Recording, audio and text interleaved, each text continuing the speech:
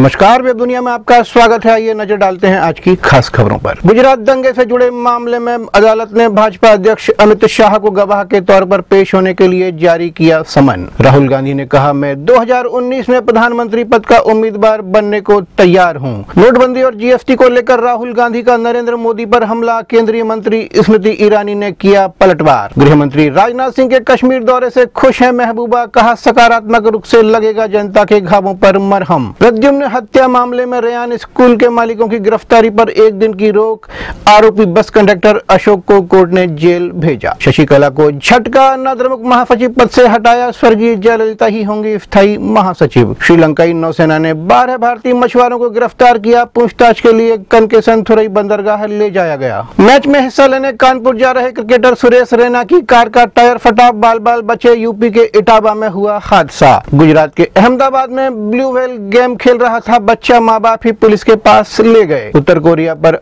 अब तक के सबसे कड़े प्रतिबंध संयुक्त राष्ट्र ने सर्वसम्मति से दी प्रस्ताव को मंजूरी। जापानी प्रधानमंत्री शिंजो आबे के साथ 13 सितंबर को अहमदाबाद में रोड शो करेंगे नरेंद्र मोदी। क्यूबा में इरमा तूफ़ान से 10 लोगों की मौत 10 लाख लोगों को सुरक्षित स्थान पर पहुँचाया। तुर्की में इस्लामिक स्टेट से जुड़े 25 आतंकवादी गिरफ़्तार।